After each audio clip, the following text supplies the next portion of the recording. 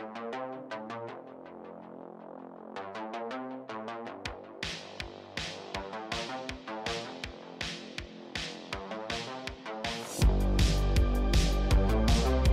up, everybody? Welcome back to the Pixelists Podcast, podcast about all the nerdy things we love and enjoy. As always, we're your hosts. That's that's Blake. I'm Will. Today, we're here to talk a little Critical Role, a little D and D B and B. Haven't thrown that one out in a while. Felt like it. Felt like the It's right been like- moment to bring it back. It's been like two weeks that we haven't said it. you know what? I think it's been a little longer than that, but you know, not too long. Uh, how are you, my friend? I'm good. I'm good. It feels even it feels like a Monday, even though it's Wednesday. So Yeah. Yeah. take that not- as you will. But yeah, you not know, in a good way. yeah, Yeah. not in a good way. But I, I I can't complain too bad because I got my coffee, and I'm sitting here talking to you about D and D. So you know things things could be worse. Yeah. And you know, you and I got to get some dinner last night. We met up Yeah. with one of our subscribers who has moved to our area. Yeah, went first got, Pixelists meetup. yeah, Sort we got dinner. We didn't get murdered. We didn't get know? murdered. um, but yes, we met. Uh, she goes by the handle Annie M in the Discord, and had an awesome time meeting her and her husband and her kid, and um, brought my kids along as well. And yeah, I thought it was a pretty fun. It was a fun Yeah. get together. I, I agree. They were fantastic. Shout out to Annie if she's watching. Um, like Blake said, didn't get murdered, and it was a very pleasant experience. Um, and we just talked D and D naturally. You know, Yeah. it's like what do, what do you talk about when you get together with you know people who watch your D and D channel? Apparently, you just talk about more D and D. So we just Yeah. talked Critical Role and D and D, and it was awesome. checks So- out. Yeah. yeah. Anywho, so um, yeah, anytime any of you guys are in the Northwest Arkansas area, give us a ping, and we'd be happy to grab a cup of coffee or just say hello. Or um, I don't know, we're pretty, we're pretty just like whatever, sure. Yeah. So yeah, but um, Two local men found in a ditch. two Um, YouTubers. so what um let, let's think about like what our announcements are today. We have the stream Friday, Worlds Beyond's tomorrow. We're not recording tomorrow for everyone listening. The next episode releases tomorrow. yeah, it was delayed. Um, and like Will mentions many times, um, if you're not watching Worlds Beyond, listening to Worlds Beyond, uh, highly recommend it. It is Yep. an incredible format. One of my top things I look forward to um, every couple of weeks. Um, other than that, any announcements? Uh, I don't think anything out of the ordinary. Um, other we got our Discord watch party this Thursday night for Critical right. Role. Um, like always, so be sure to join the Discord if you haven't already. Uh, but yeah, that's that's pretty much it. I think. Okay. Well, uh, as is tradition, we like to do a little recap for what happened on our episode. And what we do is we pull that recap out as a separate episode, we post that on YouTube, and then we talk about the episode as a whole in a separate video. So if you're watching just the recap, in the description box, there is a link to um, see our full thoughts. And as always, we want to know what your thoughts were on this episode. This was a spicy episode. Lots of drama around this episode. So a lot of a lot of Yeah. good stuff to talk about. Yeah. But anywho, getting back to this combat that we left on in the previous episode. This is episode 93, Bittersweet Reunions.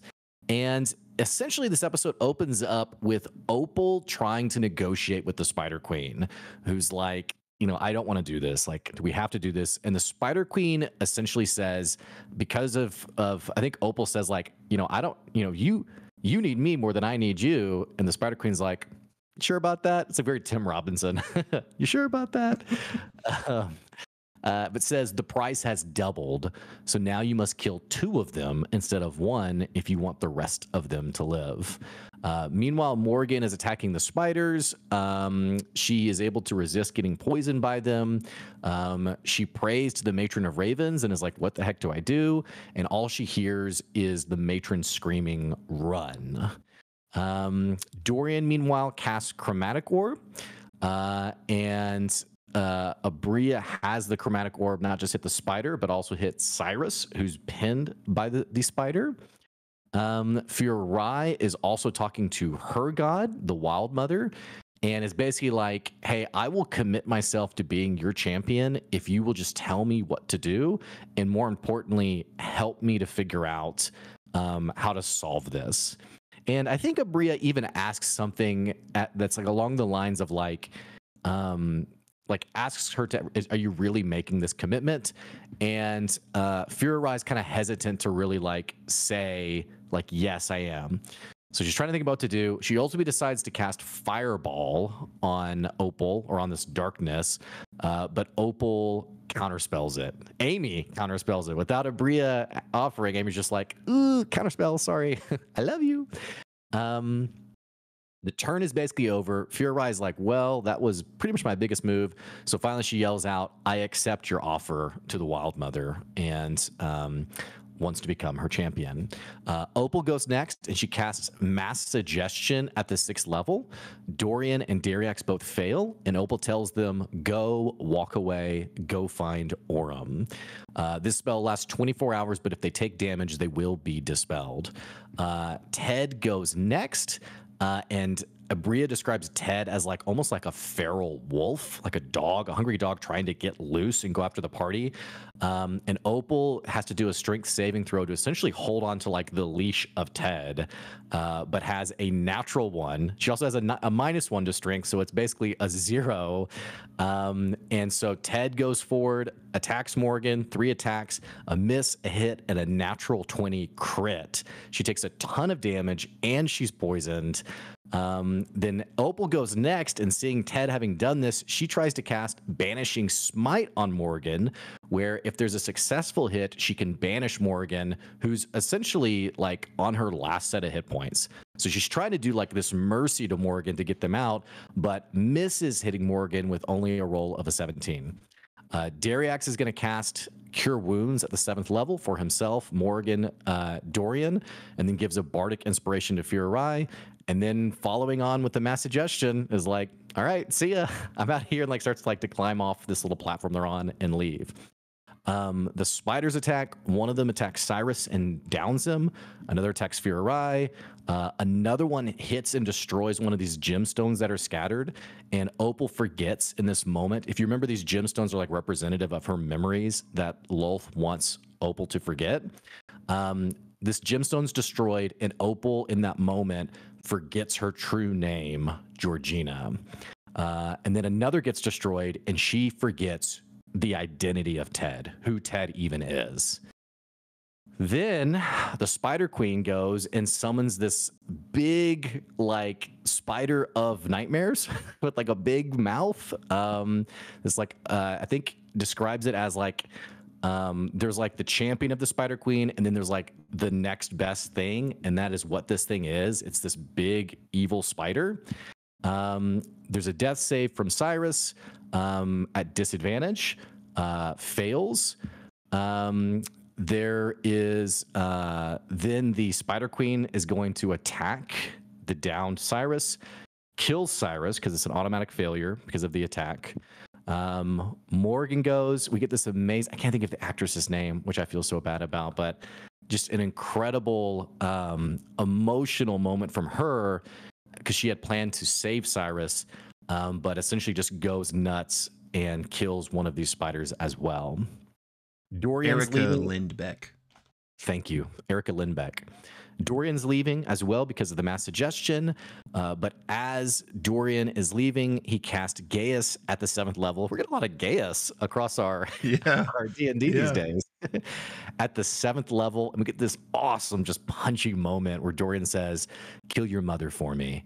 Um, the spider champion fails, uh, and then Dorian Dorian leaves. Um, we also get a moment, by the way, where the Spider Queen is um, sort of mocked by this Geas spell and basically says to Dorian, like, hey, it was supposed to be you. Like, you were supposed to be my champion, but you were too weak, uh, which is a great callback to some interactions in the original season of EXU. Um, moving right along, I know this is getting a little long-winded. Fury goes next. She decides she wants to rip the crown off Opal's head and and understands through an insight check that if she rips it off her head, it will kill Opal. Uh, and decides to instead do a persuasion check to convince the Spider Queen to let her come along and um, be like the protector of Opal uh, going forward. Um, she has, I think, an inspiration die and like a bardic inspiration. She has a lot of extra die. Um, Yeah. She fails. Um, Aabria says you can continue this conversation, but it's going to cost you a pound of flesh. Uh, Furai says I will not leave. Intimidation check with advantage. It's a 21, so she can say stay. Uh, Dariax is seeing this conversation, and it, there's nothing he can do about it. Just has to leave the battle map. Um, and then we get essentially the outro of Aabria, this really sweet moment of all of these episodes. It's very much like breaking of the fellowship is kind of the vibe from Lord of the Rings, but Yeah. Aabria sort of like outroing like this group that came together in Emon, who now are going their separate ways. Um, Dariax and Dorian arrive in Zephrah. Uh, Dariax asks Dorian, like, what are you going to do now? And Dorian's like, I've followed my brother my whole life. Like, I don't know what to do now. Um, does that make me a bad person? And Dariax says, no, like you, you can't be a bad person. Uh, then Dorian asks Dariax, what are you going to do? And he says, I don't, I don't know. I'm kind of scared. And Dariax, um, basically, Dorian hands Dariax his loot because he's been training him to be a bard and tells Dariax, um, I want revenge. I want revenge for what's happened. And Dorian says, Well, I don't know if I'm really ready for revenge. And Dariax kind of like sends him off into a crowd to like practice the loot. Uh, and then Dorian casts invisibility on himself, kind of smiles at Dariax, and uh, subtly moves away, heads to the nearest temple, sees Keyleth arriving, uh, and that is where we go to break. And that was the majority of the episode, too. That's why it was so long. Yeah, good job, by the way. Um, so yeah, for the second half, we pick up with you know Dorian have having um, left Dariax uh, kind of subvertly, and he's invisible, and he can see Keyleth arriving into Zephrah, and he walks over to her, and Keyleth, even though he's invisible, like knows he's there, so he drops his invisibility, and she's like, Dorian, what are you doing here? And he says he's lost looking for guidance. He lost his group. He needs an anchor and he wants to continue what they started with all of this. And she asks what happened. And he tells her about his brother and basically just asks um, do you think the ashari you could help retrieve his body? And Keyleth says you are a great friend to Orym um, I, I can help you with that. And dorian says he doesn't know where to go from here but he just wants to see Orym and Fearne again and Keyleth says they're off on an important mission right now, but you know, you can stay here for now, get some rest, get yourself together. And she takes him to some private quarters and tells him just ask for anything that you need. And uh, she takes her leave, and he can kind of hear her having like a serious discussion in the next room or upstairs or something to that effect. Um, and after briefly settling in, he gets a message from Orym, the same one that we saw Orym give back in episode 92, basically asking Dorian if he could come to Bassuras, if he could make his way there. They really miss him and need him. And Dorian responds with just three words I'll be there. Keyleth then knocks on his door, again tells him, you know, stay as long as you need, you know, we're here for you. And, um, but I'm about to leave. And so he asks where she's going. And she says, How much do you know about like everything going on right now? And he says he doesn't know much. So Keyleth gives him this very quick rundown about the ley lines and Ruidus and the God Eater and how Orym and the others have been helping with this. And um, they that's actually where she's going right now, to where they are um, back in the Hellcatch Valley. And Dorian's like, Well, can I come with you then? Keyleth is like, yeah, you know, as long as you know what you're getting into. And um, Dorian, of course, uh, wants to come along. So the two take their leave, and she casts her tree stride to make them arrive in the Hellcatch Valley in this military encampment. And basically, as soon as they arrive, Dorian is just taking it all in, and the gates of this encampment open up, and he sees seven figures walking in. It's Bell's Hells, except with no FCG, and instead a small figure that he doesn't recognize. So they, of course, immediately have this big warm reunion with Orym literally jumping into his arms and Fearne like bounding over and nearly, nearly tackling him. And um, Dorian says, I'll tell you guys my story later, but you know, like what happened on Ruidus. So Bell's Hells explained to Keyleth like what they ran into, what happened, what happened with FCG, and that his sacrifice is what saved all of them. And of course about Eva Roa, who's most everybody's eyes are kind of looking toward, as most of these people have never seen a Boromoto before. So they introduce Eva Roa to everyone, and you know she explains that she was a scientist working under Ludinus, and Bell's Hells basically continue to just catch up Keyleth on what they did, and they're like, "Hey, timetables are probably moving up after the chaos that we caused," and Keyleth says, "Hey, don't worry about that for now. Like you guys." Did a great job. You just need to rest. So the party then asks, um, well, what about the back door to Ruidus that we found? And Keyleth says, yep, we're investigating it. We've got some Ashari over there that hopefully can maybe widen the portal to make it more useful. But she says, now you guys just need to rest. So she takes them to a large tent that has basically, it's like a sleeping quarters tent um, for all of them. And she says, I'm so glad you're here. And I'm so sorry for your loss with FCG. Um, but just rest up. For now, I have some business to attend to. Uh, and she wild shapes into like a hawk and flies off. So it's at this point that we basically just have big old catch up time where Dorian is explaining everything that's happened to him since he last saw them, including specifically what just happened the day before with the Crown Keepers and his brother. And the Bell's Hells kind of explain, you know, two years of lore to Dorian. Um, the the the major hits at least. And uh, this includes a little segment where Laudna gives Dorian the little um, dancer that she bought in the shop on Ruidus. And he really appreciates that. And they make a joke about, like, don't just give it away to a kid like you did with Chetney's, uh, Chetney's boat. Um, so after they catch each other up, Dorian basically asks, So what's the plan now? And they're really not sure. But Imogen says, Are you going to be staying with us? And he says, Yes. So at this point, Ashton goes and gets some liquor for everybody, and he returns. They're having some drinks, and um, Dorian's like, "Hey, what's up with your arm, man?" So Ashton tells him about the whole Titan shard thing and everything that went down with that, and he's like, "Are you okay?" And Ashton's like, "No." Um, but they cheers to reunions with old friends, cheers to FCG and to Cyrus, and that's where the episode ends. Um, again, that was episode 93 Bittersweet Reunion. And if you happen to just be on our recap and want to hear our full thoughts, that will be linked down in the description below. Great job, man. Good work. Thank you, man. It's easy, easy compared to your half. I made sure I watched it fresh like the next day and like had the notepad up this time. Yeah. I knew it was going to be a lot. So, yeah. Um, okay. Let's talk about it. All right. Full disclosure. we would, you know, we mentioned we got together yesterday. Blake told me that he had some feeling some some type of way about this episode, so he he said to prepare. So um, let's go, do wanna, baby. Do we want to start there? I mean, I feel like we might as well. Well, yeah. I don't want to. So we talked about the whole toxicity thing last Yeah. time, and not not, Yeah. Not that that's what you're about to do, but I did. That was that was here again this episode. I don't. You didn't watch live, I don't think. Did you? Yeah, I didn't. Yeah. No.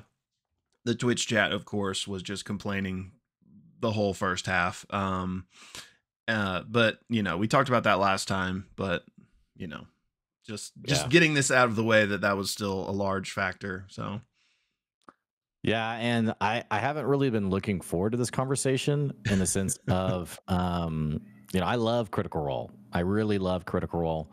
Um I love Aabria. I love Worlds Beyond. Um and you know I don't want to be just like a negative talking head, but objectively speaking, I I deeply disliked many things in this combat. Um not from a critical role perspective but from a d&d perspective from a dm perspective um there were some moments where i just was like what um and honestly for how much I I guess I'll just start out with like a bold claim first. Yeah. For how much you and I have talked about, um, it's annoying that people talk about this show being scripted, and it's not. Come on, guys, it's not scripted. yeah, Um, Cyrus's death felt absolutely scripted, and not just scripted, but deeply forced um, in this episode. And I thought it was too bad how it all went down in the sense of the people who like rage watch Critical Role, which we Mm, know there's people like that for whatever Mhm. reason. of course. Um, I, I feel like this was like a feather in their cap of like, you know, see. Um, so that's my first. That's my first of many things that I'm going to say. Uh, that's my first bold claim. And again, we'll just I'm just doing a disclaimer for everyone listening. Um, we always, you know, we like to say, you know, if you have a different opinions, it's okay. Uh, Will and I, we had some disagreement on uh, Ashton. You know, Will didn't fully understand the Ashton situation, so we didn't see eye to eye, and that's going to happen.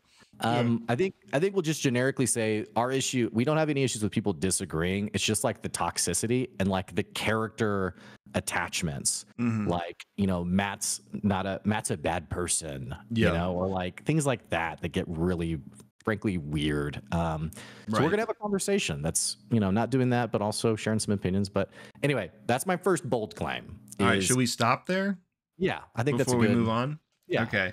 I so I'm not I don't disagree with that sentiment, but I'm curious since you watched it more recently and you know took since did the recap on it. Can you remind me like which like parts specifically felt like cuz I don't remember like the nuance of the combat that like led to Cyrus going down. Yeah, there were there were two things that really stood out to me that were strange to me. Three things actually. I realized one about 30 minutes ago as I was um preparing for our session. I was like, "Oh yeah, what what happened with that?" So, first of all is chromatic orb. Um chromatic orb is a single it's it's not an AoE spell.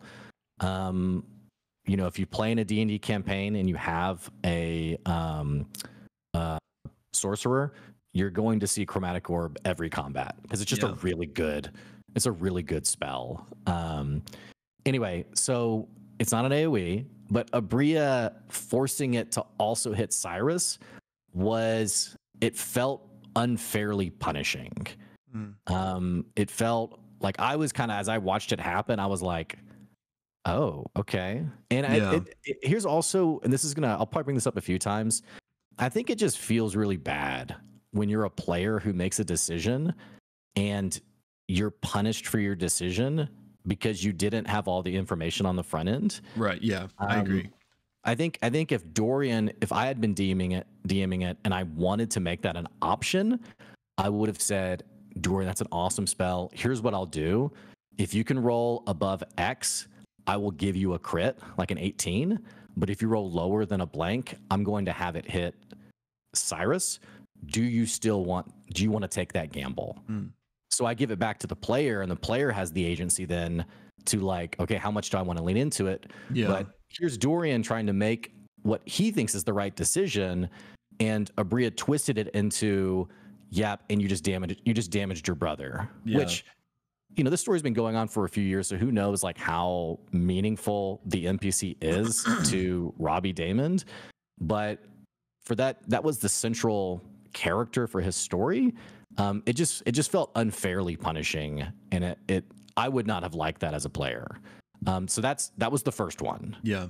The other one that um, I didn't like was I don't understand why he had to make death saves at d- death saves at disadvantage because he there was a death save and Aabria said, Dorian, do you want to roll it or do you want me to roll it? And Dorian was like, Well, I'll roll it because it's my brother. And she goes, Okay, with disadvantage. And I didn't know if she was like, Well, because it's you, it's disadvantage, or if she was Yeah. always going to do it with disadvantage. But I and and maybe I'm I may have missed something by the way. Like I I've only been DMing for a few years, so maybe there's a detail I missed. Mhm. I, I didn't understand why it was at disadvantage, other than Yeah. just be just to be more punitive is how it felt. Um, and then the last thing regarding it being scripted was I was surprised that with two bards and a paladin that no one had revivify for Cyrus. Which maybe they just didn't. I don't have I don't have it. That's like the weakest complaint I have. Um, but I thought, okay, you're all level 14, level 13 Yeah. um, surely someone has Revivify, right? So I was surprised that that never got casted, and it almost made me feel like when Morgan was like, "Oh, I was going to do something," I was like, "Well, you're a paladin. I mean, you probably have Revivify, so you still could do something." But then I was kind of like, "Well, maybe they." And I'm not. I'm not trying to say like go from ditch to ditch like everything's scripted, but like mm-hmm. we know that Robbie was supposed to come back. We know his brother was the reason he left. His brother being out of the picture is a pretty neat, you know, tie in to get him back. Um, but anyway, so that's that's all under the banner. The end of yeah. my essay on it felt too scripted. um, so we can go any direction you want to on that. Yeah, I I I get that. I you know I think that's fair. Um, the the chromatic orb thing, I definitely agree with you on. Like that, um, the revivify and the disadvantage. I think that you know that kind of is what it is. Like you know we we knew FCG didn't even take revivify and had to True. make yeah. that table side deal with Matt to to get access to it. So I could easily totally. believe that they just didn't have it. Totally. Um, and then maybe there was a reason for the disadvantage we don't know about. But the chromatic orb, totally, I agree with that. Like, it's, it's punishing a player when they didn't even like know. You know, like that he should have had yeah. a, a, slightly more more agency in that. I think. Um, but okay, I don't. It's funny because we even talked about this scripted thing uh last night with uh Annie with, and her husband. But um. Yeah we got to like get into the semantics of what we mean when we say scripted. Yeah. You know? Yeah, I think that's fair. so I, I definitely think that, especially because of how Aabria like hyped up this episode and also just how she was speaking during it. Literally, she said, like, I thought I would kill more of you. Like, she clearly was coming into this with, like, it's gonna be a massacre. So, like, in the sense that it was scripted and that, like, she, I think, was trying to get bodies. I, a hundred percent. And maybe even Cyrus was like, no matter what, like I'm taking him out. I could see that mindset. And then maybe like things like the chromatic orb, things like the disadvantage were her just like kind of making sure that happens. And it's kind of sloppy for lack of a better word. Um, but I don't here's what I don't think. I don't think Robbie went into that battle knowing his brother was gonna die. If that makes sense. I don't I don't know if I agree. Okay. Um, I, am not. I'm not saying, I, and I'm not overtly saying I disagree. I, I could see it both ways. Like Matt said in the outro, like, "Hey, we wanted to get you back sooner, but you know, it didn't." The plan, the plan was to always bring you back sooner, which I was like, "Of course, we love Robbie." Yeah, you know. So, but I, I frankly feel like there could have been a conversation. I'm like, yeah, we're gonna, and maybe it wasn't like as. I don't think it was like as I think the I love you. You mentioned like semantics. I think the people who talk about scripted, like they think there's like a table read that happens right right for the episode. Like I'm gonna say this, you're gonna say that. We're gonna. I don't think. I think it's ludicrous for that to happen. Um, I feel like it's within the realm of possibility that there was a high level conversation on, um, hey, we're gonna bring you back, and you know, there's gonna be this storyline of Cyrus having been killed you know, and maybe it was as generic as that, or maybe not. Though I, I think, like I said, I'm not, I'm not disagreeing fully because I think it's totally fair that, you know, hey, we're bringing you back, but we don't want to spoil it, so, you know, just know that, you know. And then Matt's charge to Brie was Cyrus must die, um, but I don't know. I mean, I, I, guess I guess it's it's probably unfair to use the word scripted because it has so much negative connotation with it. Mm. I think I think the way you said it was probably a lot better. Of like Aabria came into it with like a certain intent mm-hmm. and was um very uh diligent on making sure that that happened, um, whether Robbie was in the know or not. Yeah, I I just don't think Robbie would need to be in the know, and I think it makes it worse if he was. Like that's like it, it we've had the conversation of is it a show or is it their game? But even aside from that conversation, like and I know Aabria was in the DM chair, not Matt, but this is still critical role at the end of the day. Like I think they want Robbie to have that organic experience to like so mm. I, I just don't think I don't think that would have been like on the whiteboard before the session. Like Cyrus ain't making it out of this. Because I also think that you could have I think Dorian can still join the party if Cyrus is alive. Like it's D and D. Like it, you know, could have just been like, mm. hey, Cyrus, like things are getting real.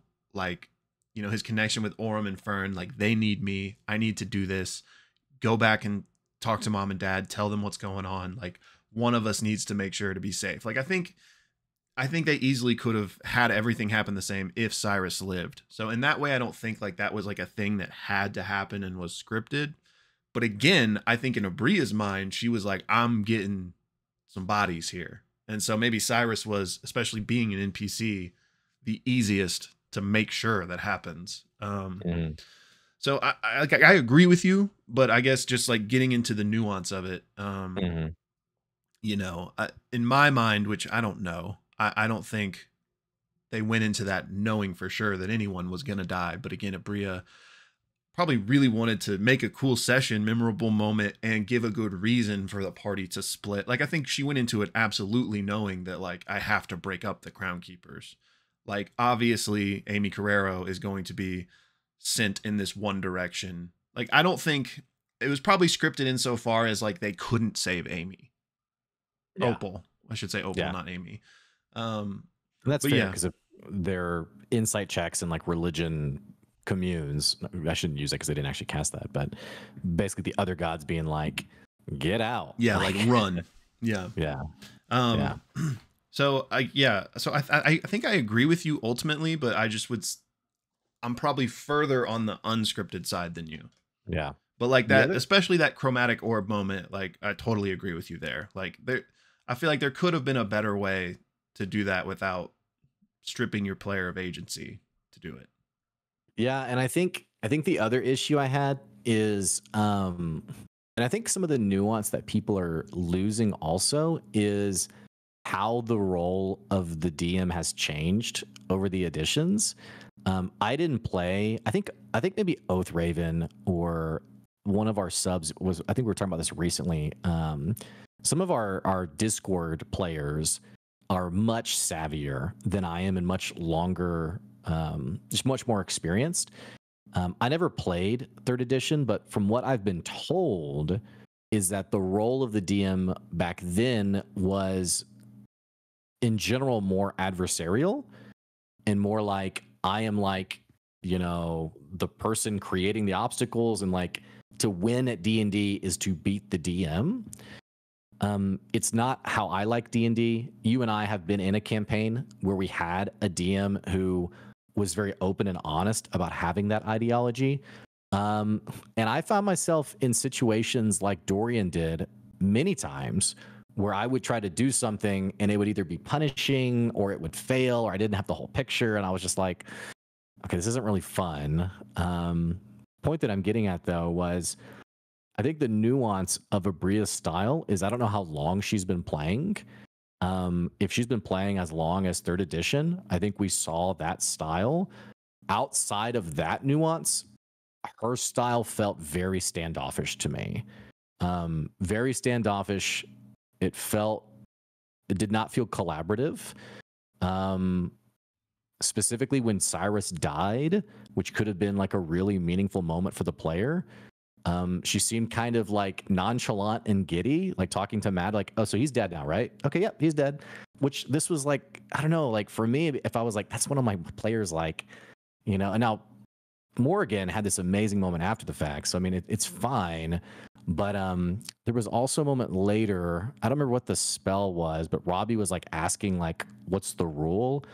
And Aabria was like, "You know, the rule is like whatever the f I say it is, or something." And Robbie was like, well, I wasn't questioning you. Like, kind of sheep. I mean, I don't want to force any emotions there, but I was kind of cringing of like, oh, like I, just very like, I don't know. It, the the tension was a little bit there for me, and I don't want to over analyze this. And we said earlier, I don't want to make any like character assumptions about Aabria. Um, I'll just say that style that I saw in this episode, which I feel like I didn't see that much of in EXU that style, if it was me playing at a table, I would probably quit the table. Uh, Just being totally honest, I'd be like, yeah, it's not, it's not really for me.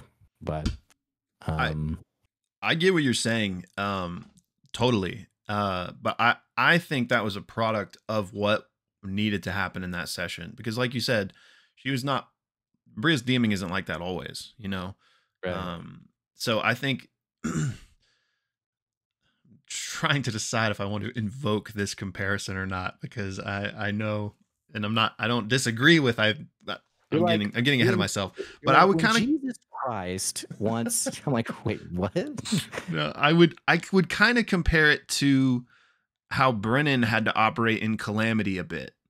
With like you kind of knew that things were going to hit the fan and I think that I'm not saying that the way Bria handled it was was perfect and the best way to do it, but I think it, you coming into a different mindset with this session because again, like bodies need to hit the floor. We need to splinter this party. So I think she was coming on in, you know, what's that Spider-Man mode, like instant kill mode or whatever, from his his Mhm. suit. Like I think that's what Mhm. she came in in, and so I think that was like the influence you're feeling in those ways.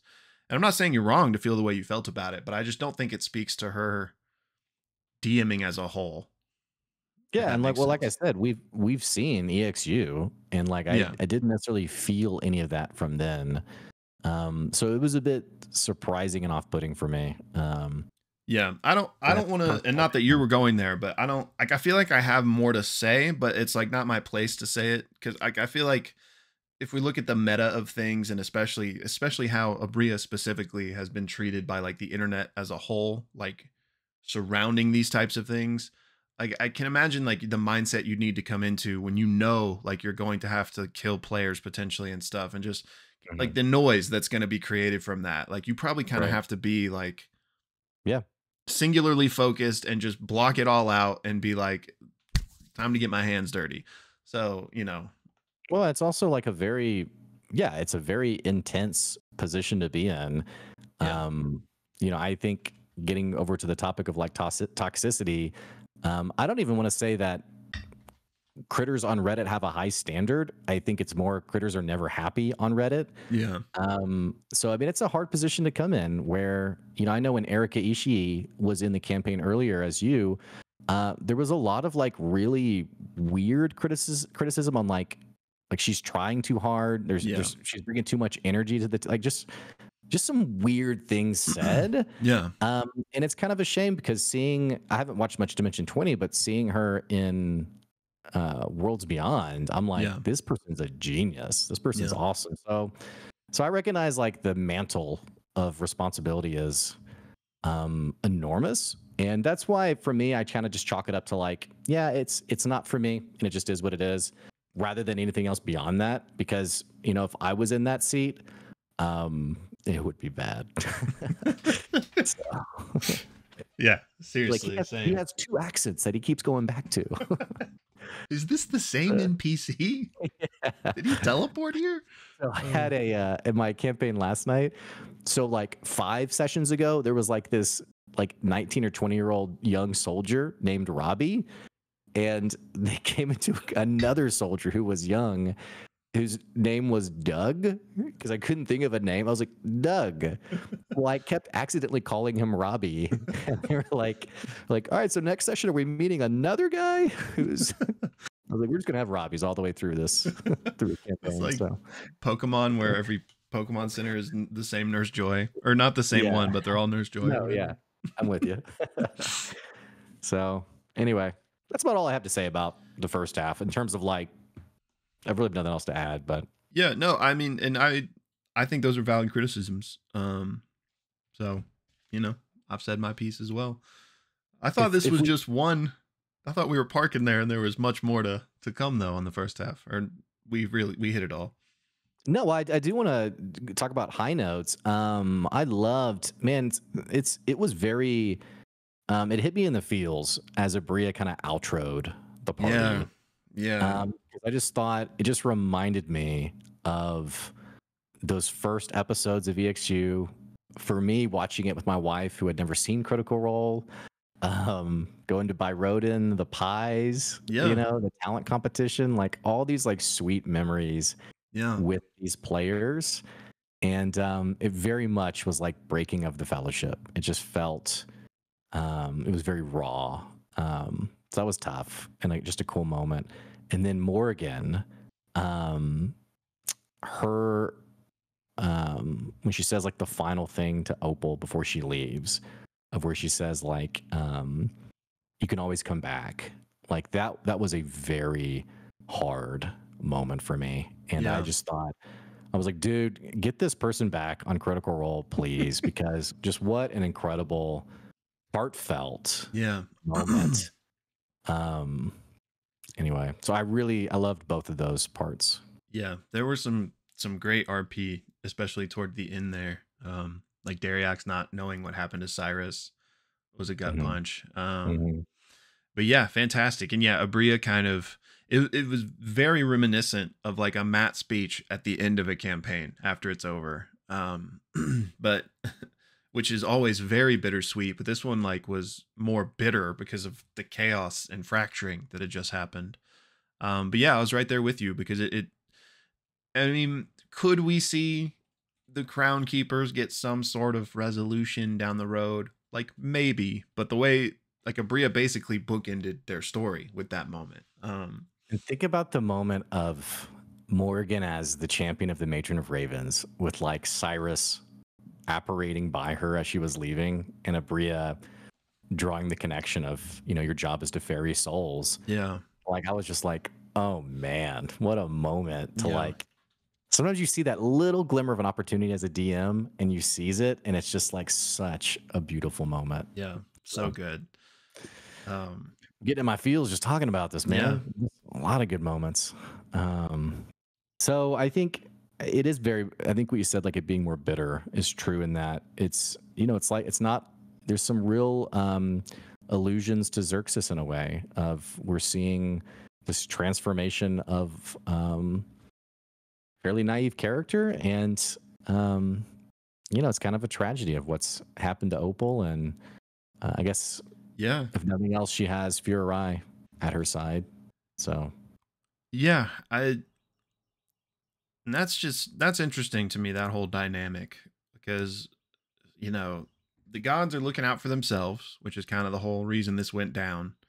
The Spider Queen wanted her champion.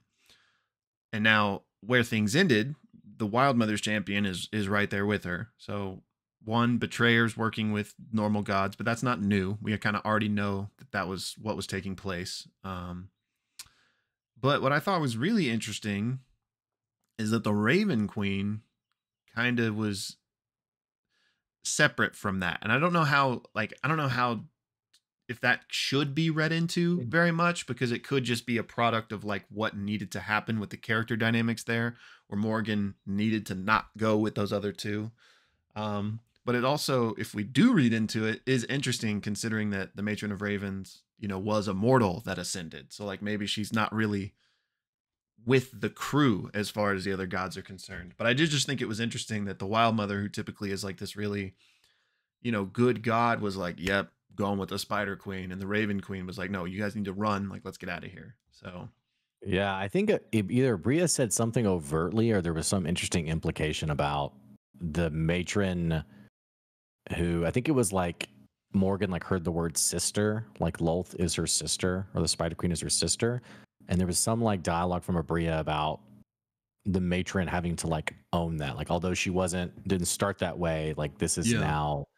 Um so I I noticed that too of like this interesting seems like this interesting nuance of um you know as it's presented Predathos being free is supposed to as Ludinus frames it should help all mortals at the expense of the gods mhm. Um, so the matron is interestingly in this middle, I wouldn't say middle, I mean 80 20, you know, help the brothers, brothers and sisters. But um, yeah, that hesitation, I noticed that too. That was interesting. Yeah. So I'm just, and you know, the matron has been like a central part of, not like a central, I guess, but like very much on the map for this whole campaign in the connection Mhm. with Ludinus. Um, what it, we still don't really know what that is. Um, I mean, it's probably, I mean, we know, probably know the parallels and connections, but we still don't have like a definitive answer to why he was so obsessed with her. Um, and then of course Vax and that whole element, but I'm just curious to see how this how that dynamic evolves. But at the end of the day, I probably just imagine to her to be on the same side as the gods. But um, yeah, just thought thought that Mm-hmm. Was interesting. Um, I loved the flavor of the Geas spell. Yeah, Just like a Robbie has so many great lines in this episode. But the "Kill Your Mother for Me" was like Yeah. such a a nice so good. jab at the end. Um, anything else from this combat? Um, I don't think so. Okay. Well, so Dorian and Dariax head to Zephrah. Um, Dorian sends Dariax on his way. Yeah, Uh, that was I, sad. I was sad. You know, they've they're like brothers. You know. Yeah. So I I did have like the slight like, could we see Dariax at the table as Matt and like Abria continues on, or like you know a different DM comes in, like not for the end of the campaign, but I just thought that would be really interesting for the party to have Matt at the table with them. But um, it made sense to send him on, um, but still sad. yeah, It's like Sam and uh, Frodo, you know, separating. Felt like yeah. But the worst, and I get, I get why he did it, but the worst part is, is he just left. You know, he didn't even like tell him. So poor Dariax, man. Dariax is going to become the BBEG for yeah, the way he was treated by Dorian. but hopefully he can meet up with um Denise. I was actually Denise. wondering if like. Not that it would have been a big moment or anything, but just because Aimee also happened to be there, if there was be like a tiny moment where like we saw a reunion Yeah. or anything, but Yeah. you know, maybe maybe we'll get some info on that in the campaign wrap up or something. So Robbie's back at the table, which we wanted. We didn't want it, you know, three years later, but we Yes. got it nonetheless. Um, and I, it this seems like he will be finishing the campaign with the group. That's what it felt like, kind of. I mean, who knows? But it did feel like that, kind of tongue in cheek, a little bit with like Imogen asking, like, "Are you here to stay?" Um, so I mean, that's my hope and my assumption, I guess, is that he's he's back for the rest. Um, but again, I mean, who knows how much longer this campaign is? So, if, if Yeah. you know, I I would guess that he's probably here for most of the rest, if if not all. Yeah. Um, No, yeah, I feel the same way. It's good to have him back. He, it's going to be interesting because I've it's been so long. I remember just being so enamored by him, but it's been, you know, a while. Um, so I'm excited to kind of like relearn like his presence at the table. yeah, like, kind of get the new dynamic. Um, yeah, which because it's crazy because since he started the campaign and everyone loved him, he felt like one of the main crew, and I mean he is, but. I think when you go back, he wasn't in that many episodes, honestly. Like it was like 15, maybe. yeah. I think so- he left around then. Yeah, And so now we're almost at 100. So he was in like basically 10%, a little more. Yeah. Um, so yeah, it's crazy. So it's going to be interesting to it. and this is just like a weird thing with time, but it also felt like an instant kind of in my Yeah. mind. Like he just Yeah. left and he's back, you know, even though it's been two years or whatever. Um, Right. Right. so I'm really interested to see the dynamic. And what's crazy is there's that dynamic being re-injected into the group. And then presumably we're gonna have Sam Riegel as a brand new character also coming in. So I'm just really excited to see how all that shapes up. Maybe. I mean, he joked, "See you in campaign four. So it would Yeah, be wild I- if we just didn't see him again. He's coming back. He's coming back. But I do think there's room for like some some interesting angles here because like I don't want to mm, I just think because it's so late in the campaign and like the the general circumstances of it being this really big planet like Predathos is such like a high level threat that we have characters from campaign 1 and 2 showing up I do think there's like a weird chance for there to be like something Sam maybe wouldn't normally do. Like, I'm not saying he'd come back to play a previous campaign character necessarily, but like, Scanlan there's less- uh, joins the joins the there's less like, like you could do something crazy because you're in the final stretch of the campaign. Like, you know, you don't necessarily have to make like the main PC that needs to like have the same journey over 120 Right. episodes like a normal like new character would have to What do. do you- and like, what do you mean exactly? Do you mean like a famous NPC, like him joining as that, or do you mean like just a crazy, like a crazy backstory, like an evil character who, like, the enemy of my enemy is my friend, and like joins the party, or kind of like all of the above. Like I don't want to specifically say like he's coming back as you know, uh, Veth Rob. or or some or Scanlan or Veth or something like that. But I do think that is like where I would say in normal circumstances that would never happen. I feel like there's a slight chance of something like that happening given the circumstances. So whether that is like a previous character or like a character from a one shot or maybe like coming as one of you know uh I mean this isn't really a spoil like one of the previous campaigns kids or something Uh, you know like just yeah. something kind of weird like that because there's not as much pressure and there is like so little so little time left that Yeah. plus it's sam riegel so i just Yeah. could see him capitalizing on this chance to do something even weirder than normal Yeah. whatever shape that takes Yeah, I like the idea of like all rules are off, or is that the expression? All rules are all off. bets are off i think all bets are off. You know, they say there's all no rules. rules we can do whatever we want. Matt's like, no, you have to follow the rules. Uh, I crit him. I don't have to roll. easy I think it, I'd say about the guy I played with who he was like, yeah, I played a lot of D and D, and I was like, okay, and we started playing together, and he was like, all right, I'm gonna attack that guy, and I was like, okay, and he's like, I hit him, and I was like, well, you have to roll. he was like, what? no i hit him it's like you said you've played a lot of D and D, so learn that can just be that can mean anything really. yeah i'm sure yeah Uh, yeah, I love the idea that all bets are off, in that um, I do like with Dorian coming back. I, the party can do whatever they want, and I think some people like over min max D and D of like, well, we have this, we need to have that, we need, and there's nothing wrong with that. But also, a good DM is going to, within reason, design future Right. stuff around the party's dynamic. Um, not to say that the parties can't make it harder on themselves for sure, but I was thinking we really need we need something supportive for this party with FCG gone. Now that Dorian's in, I'm like, that could Yeah. be anything. So Yeah, agreed. Um, I can't wait to see what it is, and I, I don't know if I expect it to be that tomorrow's episode, but I do think probably soon we'll we'll Mhm. see Sam's new character.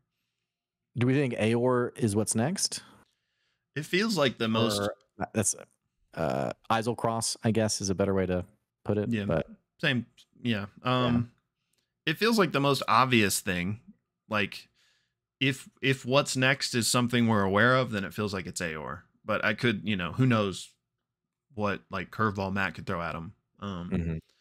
but yeah, it does seem like with Everoa and all of like the lore drop that's surrounding that, not to mention just like the general intrigue on a meta why level. isn't why isn't Everoa and maybe the party like lost this detail, but weren't they originally told that Everoa was working on a weapon for Ludinus?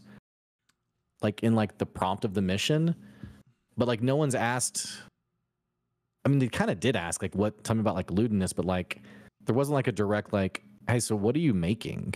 yeah, Which um, it could be the party just forgot or just you know the narrative kind of shifted a little bit, but is is there still more to glean from Everoa that they haven't yet? I think probably, but I don't know if this is what you're talking about or not because I don't specifically remember the weapon comment, but I, I we did learn that the devices from Aeor that they were harvesting, that's what Everoa was working on, adding their technology to those devices, which True, I yeah. thought was to get through the glass.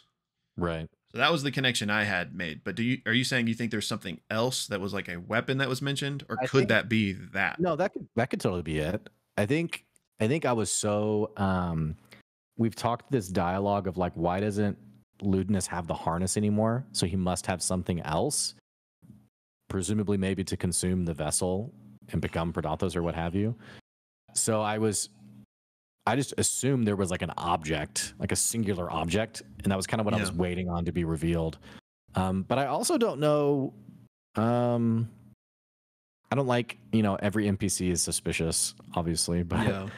I'm also a bit curious about Everoa in the sense of not that Everoa is a spy, but I do just wonder like you know in uh um Stranger Things, I think it was season 2, where the poor kid who's always like, you know, taken advantage of by the bad guys. like they're seeing they're seeing everything through that kid.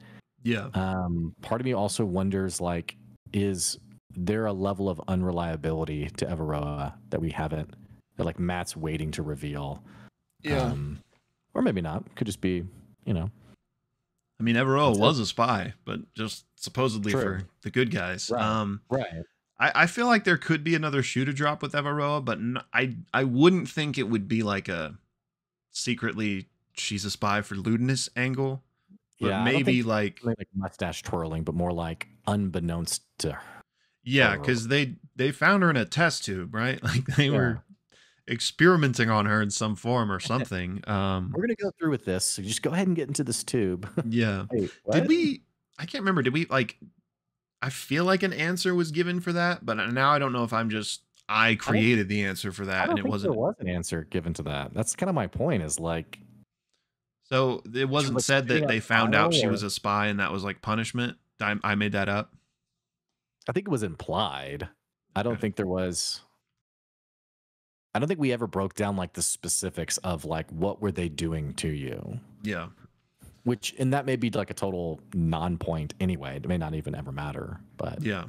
But I could see I could see something in that regard. Um I mean if they do go to Aeor, I wonder if they would bring her with them or if it would just be like tell us what you know and we're going to go. They probably wouldn't bring her. I don't know. I could see both. Like I could see it being like, hey, if we're gonna be encountering some of these things that are getting brought from Aeor, it might be good to have you. But then Mhm. also like you're on our planet for the first time ever. yeah. Like there's it probably leads to more questions and like parenting you than yeah. Plus I mean I know. imagine she's like a level 1 like Yeah, she's a scientist. So would not survive like a single hit type of person I yeah. bet. So um So, yeah, especially with that the the Dominox mention and just it it seems to me that that's the most likely place the story's going to go. Yeah. Yeah. Whew. Okay. We'll see. Other other things. Um I know Um the majority was that combat. but- yeah. Not really. I mean, I'm just I'm excited. Um they they gave each other the the the brief recap, you know, like Dorian Yeah. filled them in and they hit the high notes, but I'm excited for more of like a settling into some of those conversations. Like I hope we get some especially of course between Orym and Dorian. Um so I'm looking forward to those interactions and not that not that it relates to anything specifically, but I'm I think I might be most excited for more Chetney Dorian because I loved their dynamic back in the original where like Chetney was like hated him at first, but then you know really softened up and um I just specifically remember I think was it like the mirror tower or something early on in the campaign, something like that. I don't can't remember what it was called, Oh. but um I just remember them they were like patrolling around and I don't know if he like held his hand or something, but like Yeah. Chetney like really opened up to Dorian and was like, Thanks Yeah. for being my friend or something. So I don't know. I'm just really looking forward to to those two bouncing off each other again. It's interesting that Dorian took Sam's uh Robbie took Sam's seat and didn't take his original seat from the start of the campaign. That's not really that I interesting, didn't even I didn't even. I didn't even put the I didn't even think, think about that. Um it'd be interesting to see what if that remains the case when Sam comes back. Yeah. Are they still in because you know remember they swapped their seating arrangement when they did the two missions? Um Yeah. like um did they go back to normal or are they still in that mission arrangement? I can't remember. I think they're back to normal. I think. Okay. Yeah, I think they're back to normal. Just with Robbie and Sam's seat. Where was Robbie Uh, originally? Was he still he was was he, top in row? between- Yeah, he was right next to Travis. Um, it was Travis Dorian, uh, Travis Dorian, Travis Marisha, Sam? Robbie, Marisha, Sam. Yeah. Okay, yeah. So. Okay. Okay. Well, uh, let us know what you guys thought about the episode, Yeah. and we'll have our watch party tomorrow night. It'll be in our Discord channel, so you can definitely join that and join us for that discussion as we watch. Um, we'll have our live stream Friday at one o'clock Central Time, and um, we'll probably our next content piece will be uh, likely our deep dive on this episode that's coming up, Yeah. um, and then Worlds Beyond a little after that. So, alrighty. Bada boom, bada bing. Alrighty, Yeah. y'all. We'll see you next time. Bye.